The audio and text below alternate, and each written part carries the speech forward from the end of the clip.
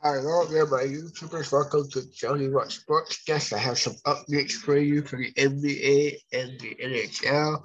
I'm going to begin with the NHL. Okay, so here we go. So the final, the final score for tonight was New York Rangers even up the series with Carolina with a 4-1 win. So the series is cut two games apiece. Right now, the third period looks like this is going to be an overtime game. It's 3 3 between Calgary and Edmonton. I'll be back tomorrow with the end result.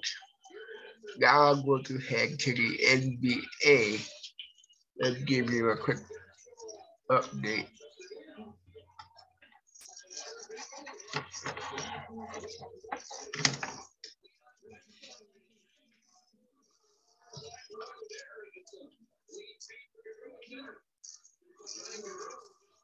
Let me see. Hold on a minute.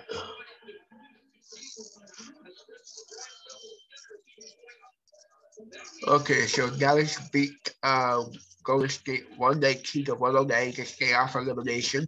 So then we got series three games to one.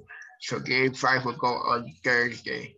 Tomorrow will be game five between Boston and Miami. That game is set at two games apiece. So I'll be back tomorrow with the end result of the Calgary Edmonton game. Enjoy the rest of your night, and I'll see you tomorrow afternoon for another edition of Jonny Sports, Jonny Rock Sportsdesk Afternoon Update. Bye for now.